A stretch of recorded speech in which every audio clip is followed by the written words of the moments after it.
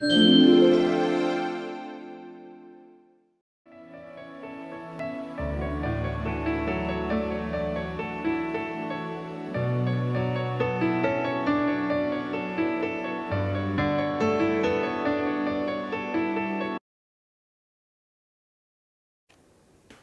い、えー、それでは2014年の金運上昇の1分間エクササイズを一緒に行っていきましょう。今回のテーマは特別企画です。11月限定のスペシャルエクササイズになります。これはメルマガをご覧になっている方だけの特別なスペシャルエクササイズが含まれておりますので、楽しみにしておいてください。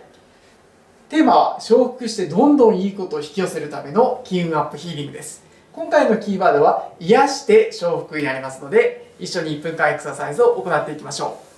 今回は2つのヒーリングポイントがあります。自分自身の状態を確認しながら、その2つのヒーリングどちらかをやるかを選択して行ってみてください。まずは、皆さんが、え疲れている方、また疲れが溜まってきているなと感じる方は、まず最初に、ここのポイントをヒーリングしてください。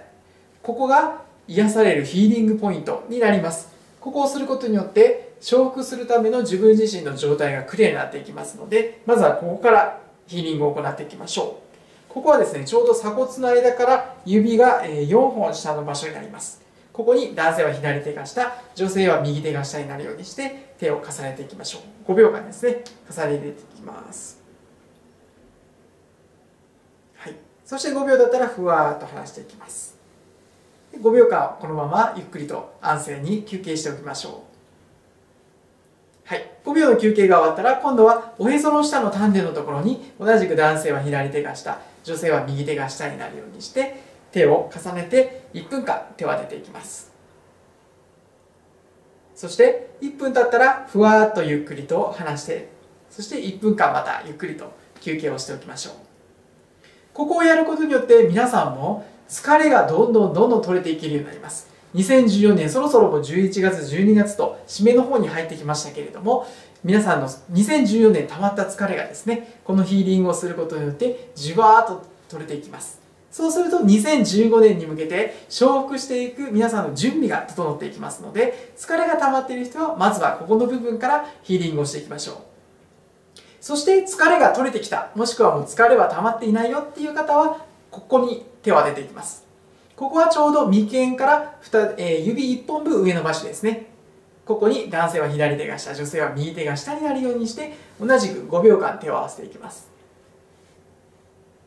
そしてできたら縦にですね、手を置くとさらにエネルギーが、服のオーラがブワーッと出てくるようになります。5秒間手を当てて、5秒だったらふわーっとゆっくりと離しましょう。そして5秒間安静にした後に、先ほどと同じように、おへその下の丹田のところに男性は左手が下女性が右手が下になるようにして手を重ねて1分間手を置いていきますそして1分経ったらふわっとゆっくりと離していきましょう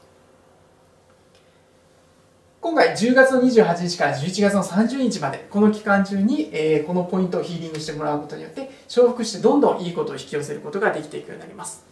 ついていることができるようになるためにはまずは疲れを取ることが大切です疲れているなっていう感じる方はこちらのポイントをヒーリングをして。もう疲れが取れてるよっていう方であったりだんだん疲れが取れてきてリラックスしてきたな安らぎを感じてきたなそういう方はこちらに手を当てるようにしてください。そうすることによって服のオーラがどんどんどんどん皆さんの体から出てくるようになって身近なところで私生活の中でいいことがどんどん起きてくるようになっていきます。そうすると2014年だけではなく2015年に向けてまた不祥福いいことがどんどん引き寄せる体質になって幸運体質になって進んでいくことができるようになりますので1ヶ月間11月の限定です。11月の30日までこの1分間ヒーリングエクササイズを一緒に行っていきましょう。